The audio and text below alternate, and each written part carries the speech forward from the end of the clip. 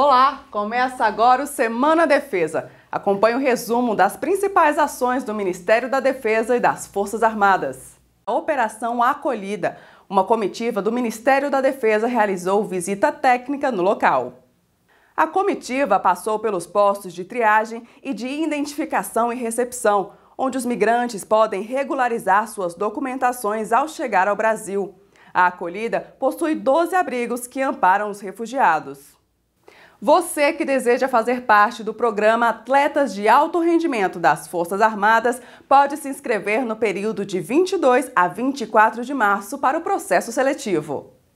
O edital da Força Aérea Brasileira prevê a incorporação de profissionais de nível médio ao serviço militar temporário na área do desporto de alto rendimento. Ao todo, são 96 vagas distribuídas em 14 modalidades. Os integrantes do programa possuem benefícios da carreira, assistência médica e instalações esportivas para treinamento.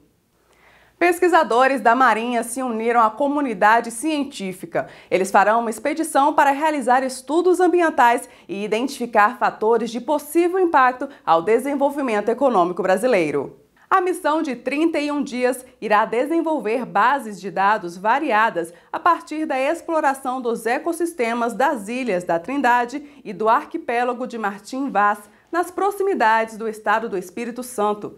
A presença do estado na região reforça a soberania nacional na Amazônia Azul, ponto estratégico para a defesa do Brasil e por onde trafega mais de 95% do comércio exterior brasileiro. Fique sempre bem informado. Acompanhe o Ministério da Defesa pelo site e pelas mídias sociais. É a defesa mais perto de você. Até a próxima!